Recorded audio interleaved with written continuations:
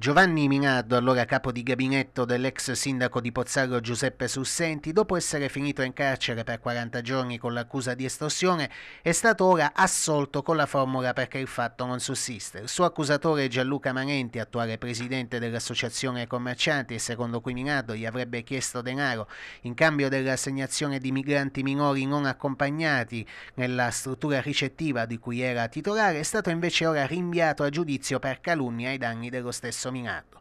Nel corso del processo le accuse di Manenti nei confronti di Giovanni Minardo, risultato assolutamente estraneo ai fatti contestatigi, sono cadute una dopo l'altra smentite dai numerosi test esaminati.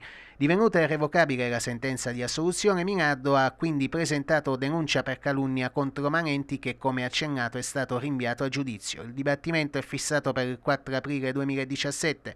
La richiesta di rinvio a giudizio è stata perorata anche dalla pubblica accusa che nel procedimento già a carico di Giovanni Minardo ne aveva chiesto la condanna a quattro anni e mezzo. Lo stesso Minardo si è costituito parte civile con il patrocinio dell'avvocato Enzo Galazzo che l'ha assistito ininterrottamente sin dal 10 luglio 2011, giorno dell'arresto, ingiusto alla luce della sentenza di assoluzione.